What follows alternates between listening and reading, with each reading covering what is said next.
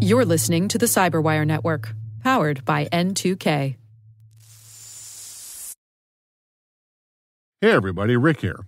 I'm going to try my hand at a sports metaphor, so bear with me. Hold on to your butts. This past summer, the coach at my local high school football team, the mighty West Springfield Spartans, put a call out to the local fans. He needed volunteers to film his opponent's teams in the upcoming season. I enlisted with a cackle of tech dads to film one of the competitors. By tech dads, I mean we all came from the tech sector and didn't necessarily know anything specific about the sport of football. And yes, I realize that cackle is normally reserved for a group of hyenas, but I thought it was appropriate for this group of wisecracking dads. Anyway, we attended a South County Stallion game and filmed the plays we thought were pertinent. Later, we got a slightly miffed email from the coach wondering where the rest of the film was. It turns out that he wanted both sides of the game filmed the Stallions' offense and defense, whereas our cackle thought the important stuff was just the Stallions' offense.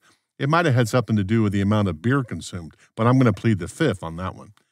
And at this point, you should be asking yourself, what exactly does Rick's cackle adventure have to do with XDR? Huh?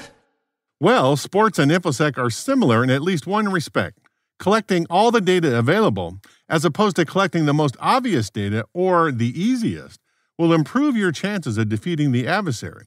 In football, you want film on your opponent's offense and defense. In InfoSec, you want film on wherever your opponent operates. I call these our data islands. We want telemetry from our endpoints for sure, but also from our networks, from our data centers, from our cloud deployments, and from our SaaS applications. We really want visibility across the entire intrusion kill chain. The film in this metaphor is the telemetry from the networking equipment and software we use and any security technology that we deploy. XDR is a tool that attempts to corral all of that telemetry in order to simplify visibility on all the data islands, centralize alerting, and automate the response. In this Rick the Toolman episode, with my sports metaphor firmly in the rearview mirror, let's break down XDR in terms that busy security executives can understand and apply to their first principle security strategy.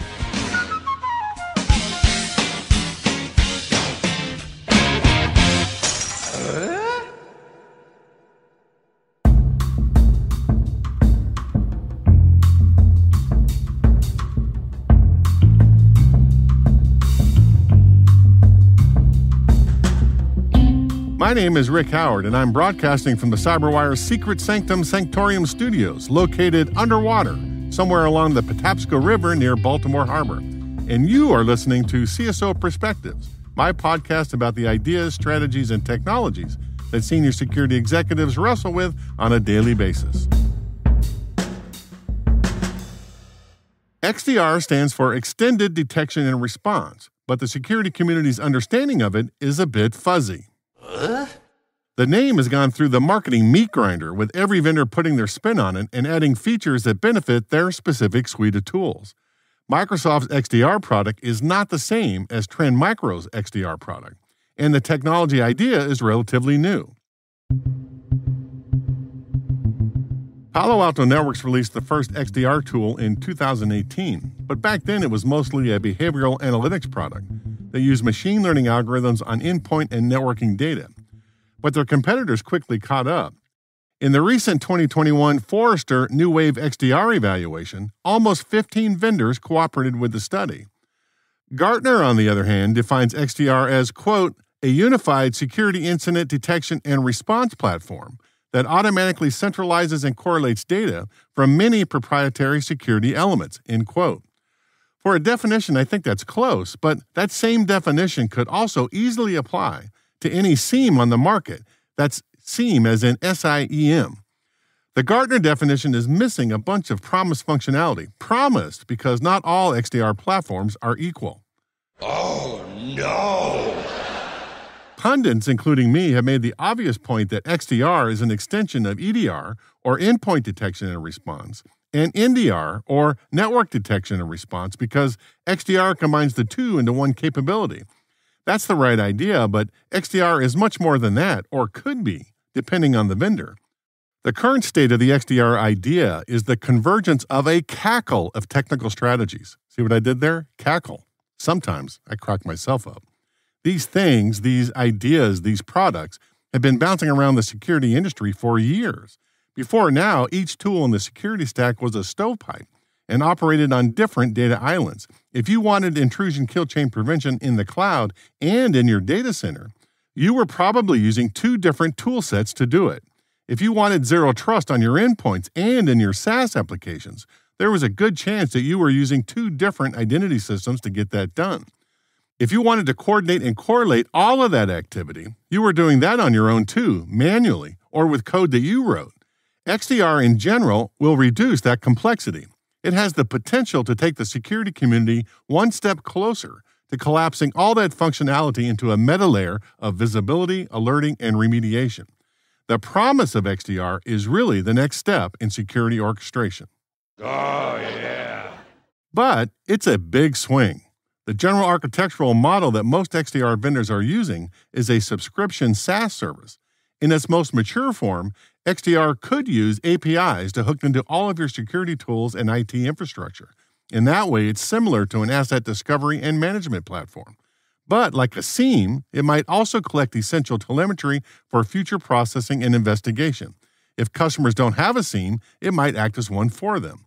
In addition, though, it could also collect raw log data from customer endpoints and networking infrastructure into giant data lakes and use machine learning techniques for behavioral analysis across the intrusion kill chain. In other words, don't tell the machine specifically what to look for. Use machine learning to train the machine to find bad guys on its own. This is where the X in XDR comes into play, extended as in endpoint and networking data combined. With this approach, an XDR platform could become an essential tool for your intelligence teams, your blue teams, and your threat hunting teams.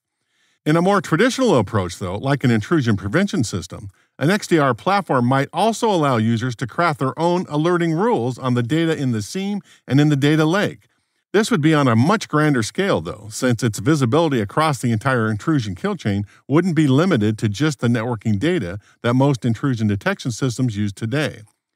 Like a SOAR platform, though, an XDR service might then allow the customer to send configuration updates to the technology stack. In other words, it could provide an automatic remediation capability, a kind of DevOps or DevSecOps capability. For example, if the system notices that 100 laptops don't have the latest Apple patch for a vulnerability that hackers are exploiting in the wild, the XDR SOC operator might be able to push a button to immediately and automatically send the patches to the afflicted systems. If the Intel team discovers a new tactic used by APT 29, they can mass distribute the countermeasures to every applicable device on every data island. With all of that capability in a single service, XDR is a modern day orchestration platform. Oh, yeah. Parts of all that functionality exist today. They are highlighted in the current vendor offerings from the 2021 Forrester XDR report. That's the good news. The bad news is that no XDR vendor today offers a complete solution that works flawlessly for every device and application in the technology stack and protects on all of our data islands. Oh, no. But that's to be expected. I mean, the idea is only three years old. It's going to take time to build the connectors to all the devices we all use in the IT and security stacks. The 2020 Gartner Hype Cycle puts XDR at the very beginning of the journey. It still has the steep climb of the innovation trigger in front of it. In the future, it has to hit the peak of inflated expectations, slide down the trough of disillusionment, hit bottom, and start the slow climb through the slope of enlightenment and finally reach the plateau of productivity. Gartner says it's at least five to 10 years out, and I don't disagree. That said, if you're a certain kind of user, XDR could probably be very useful to you right now. Back in season four, I did a deep dive into the security tools for the three major cloud providers Amazon, Google, and Microsoft. I came to the conclusion that the security stack from each of these vendors isn't mature enough for us to implement our first principle strategies across all of our data islands. This is similar to the current situation for XDR. I did say, though, that if you've committed to one of the big orchestration platforms like Checkpoint, Cisco, Fortinet, or Palo Alto Networks, you already have a mature environment in place to deploy your first principle strategies. Maybe not 100%, but a long way down that journey. And all of these orchestration platforms have a version of XDR that they sell.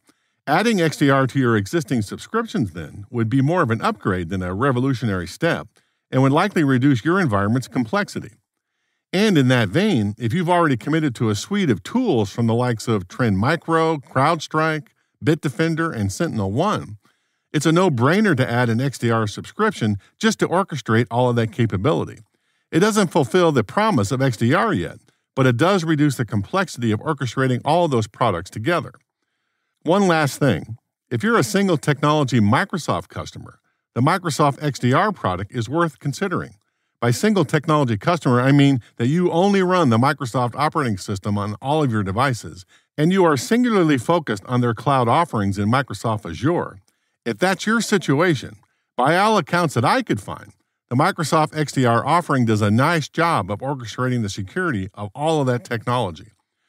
With orchestration platforms like Checkpoint, security suite tools like Sentinel One, or single version tech giant solutions like Microsoft, there is one roadmap item all of us should be asking for connect to more third party tools and intelligence feeds. The idea of this XDR technology is that it can orchestrate across the entire kill chain of all your data islands with all of your technology. The idea isn't just to be a single pane of glass dashboard for a stovepipe security vendor.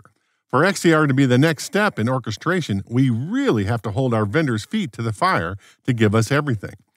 With all that said, XDR is probably not the tool for most small sized organizations and for many medium sized organizations. Those groups probably have other fish to fry before they need to embrace this kind of technology and deal with all the hiccups and false starts that are typical of new products. There are other things they can do today that will have more impact in reducing the probability of material impact due to a cyber event than embracing XDR. Looking into my crystal ball, one thing to keep an eye out for is XDR in relation to SASE, or Secure Access Service Edge. According to the same Gartner hype cycle, SASE is just a little ahead of XDR and may have just reached the peak of inflated expectations. But it still has a long journey before it reaches the plateau of productivity, probably around the same time that XDR does. One possible way this could go, though, is that SASE vendors will use XDR products to manage their customer security stack for them. In other words, XDR will make it easier for them to do so, which will aid in cost and complexity reduction. This is just another reason that SASE is the wave of the future for most organizations. Whether you pay your SASE vendor to use the XDR tool for you, or if you prefer to do it yourself, XDR in some form will be a key and essential tool that will work in conjunction with it. Oh, yeah. As XDR matures as a technology, it will help further the current trend of collapsing SOAR and SIEM tools into one technology. It just makes sense that the platform we use to collect telemetry, the SIEM, should also have a fairly robust capability to automate responses like SOAR. This trend has been happening for a couple of years now, independent of XDR, but with the current direction XDR is taking, I think it might encourage it to happen sooner. And by the way, the genius of XDR is not that the responsible vendors build all of that underlying technology into one unified platform. The genius of XDR is that the responsible vendors use APIs to connect to the customer's existing security stack. They don't have to spend years in research and development building those tools. They just have to find clever ways to connect into the tools that already exist. For many XDR vendors, they are using the XDR concept to unify their own suite of security tools which is the easier part of the equation. They should be able to connect to their own products for crying out loud. The tricky part is how robustly they embrace the idea of connecting to third party tools and intelligence sources. And speaking of intelligence sources, you've all heard me rant that security vendors don't really help their customers track cyber adversaries. What I mean by that is that they don't alert me to the probability that APT 29 is in my network Instead, security vendors will alert you that a generic technique that APT 29 uses might be happening, or that a specific procedure attributed to APT 29 is occurring, but they don't focus on the adversary. With XDR, that could all change. Security vendors could use APIs to tie into the MITRE ATT&CK framework and provide that kind of collection, alerting, and response. For example, you might get an alert that says, quote, out of the 100 tactics and procedures that APT 29 uses, our XDR product is seeing 80 of them active in your environment. Your current security stack is deploying 30% of the available countermeasures for APT 29.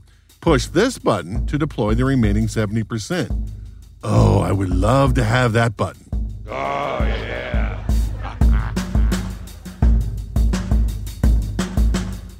Talk about supercharging your intrusion kill chain prevention strategy.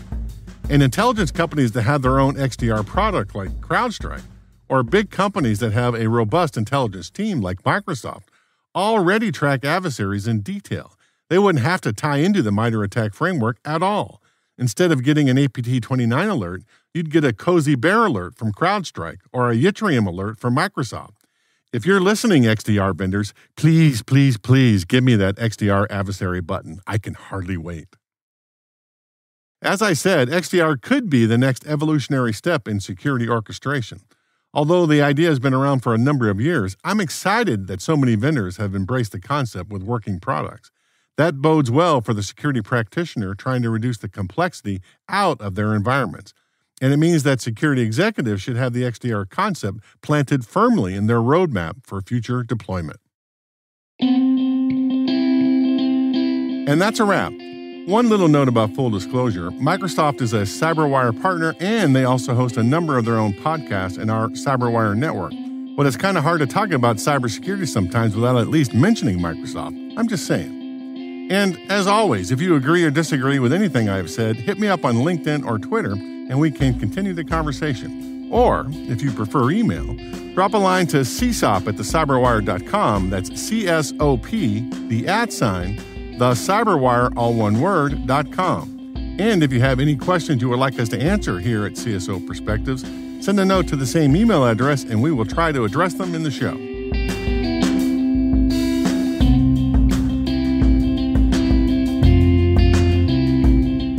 The Cyberwire CSO Perspectives is edited by John Petrick and executive produced by Peter Kilpe. Our theme song is by Blue Dot Sessions, remixed by the insanely talented Elliot Peltzman who also does the show's mixing, sound design, and original score. And I am Rick Howard. Thanks for listening.